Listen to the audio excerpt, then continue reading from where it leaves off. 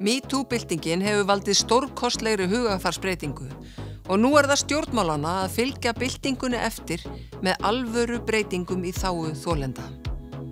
Samfylkingin ætlar að bæta réttarstöðu þólenda, tryggja þeim málsaðild þegar réttar yfir geranda, stitta málsmeðferratíma, lögbinda rétt til launast leifis, ringa gjafsóknarreglur og tryggja brotaþólum langtíma stuðning og öryggi. Þeirra tími er komin.